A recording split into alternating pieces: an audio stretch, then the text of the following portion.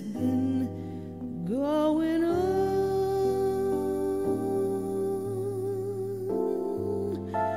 There were chills up my spine and some thrills I can't define.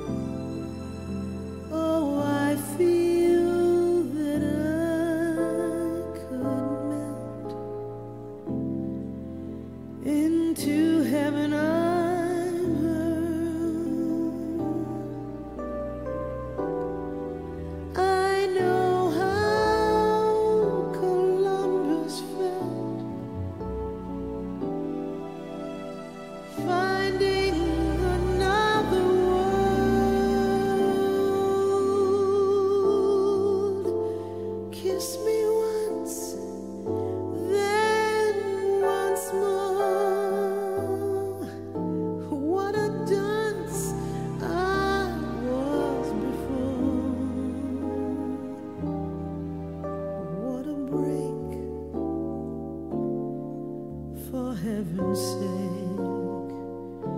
How long has this been going